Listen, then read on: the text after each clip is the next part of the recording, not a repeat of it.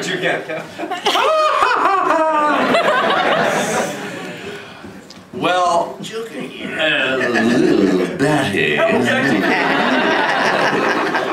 um,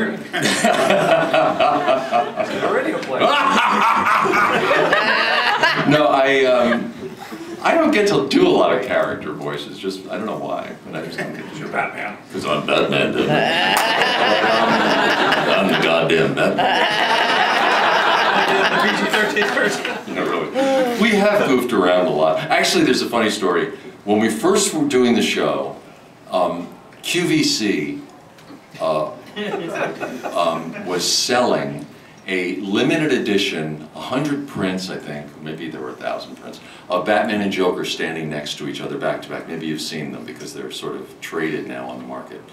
And we were sent to QVC to hype these things. And this is like in 93 or 94. I think this is really early on. And it was still done out of a, a, a warehouse in rural Pennsylvania.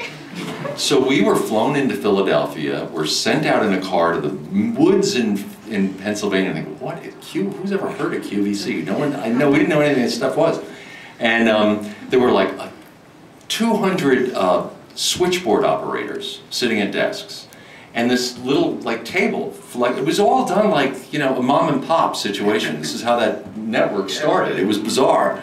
So we go in and we're sitting there, and I wasn't taking any of this seriously.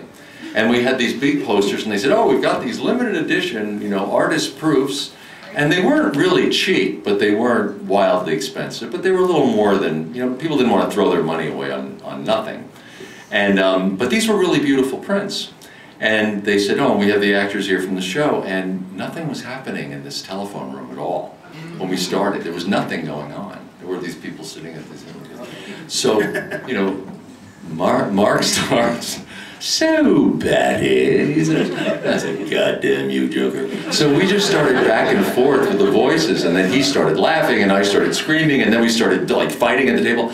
Every light in the room lit up. It's like going, yeah, yeah, yeah, you want a dozen, you want a dozen, you know. They sold these things in five minutes. They sold that immediately. And it was all because of just the two of us playing. So when you put actors together who really like each other, it, it's like playtime. And this, the, the work just comes alive. And it was so interesting to watch. It was like a Rorschach test, you know. Everyone, immediately you could see, everyone just, every phone lit up because people registered because of the characters.